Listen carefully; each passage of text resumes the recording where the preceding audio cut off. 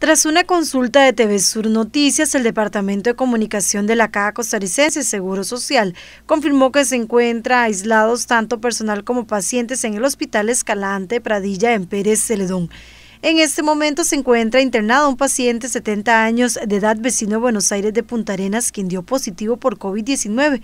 Su estado de salud es estable, sin necesidad de oxígeno suplementario en este momento.